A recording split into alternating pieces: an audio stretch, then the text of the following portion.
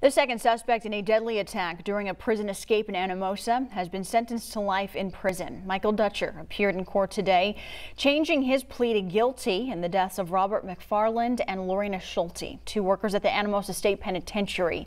Families of the victims giving impact statements during today's sentencing hearing. Sarah McFarland, Robert McFarland's wife, holding back tears as she tore into Dutcher.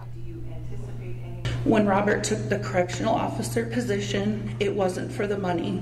He took it to help the inmates, to help you guys make positive decisions so you didn't go back to prison.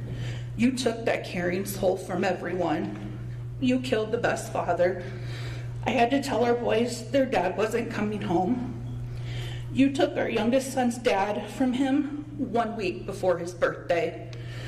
Our little boy had to celebrate his birthday without his daddy. Dutcher sentenced to two consecutive life sentences as well as two consecutive 25-year sentences for two other charges. The other suspect in the case, Thomas Woodard, pleading guilty last month. He was sentenced to two consecutive life terms in prison.